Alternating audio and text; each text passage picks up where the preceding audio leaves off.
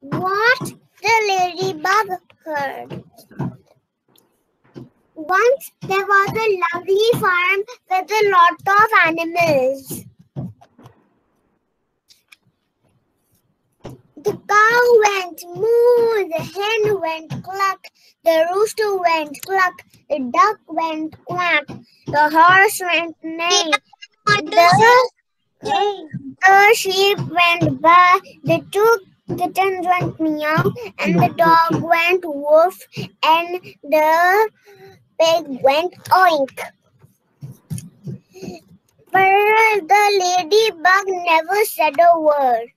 One night, the ladybug heard which two teeth were mm, whispering in a big black van.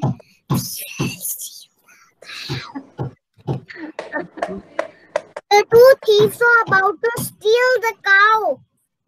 Oh my God.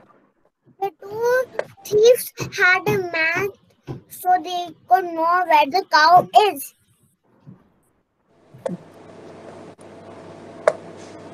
So the ladybug told everybody mm. what the two thieves were whispering.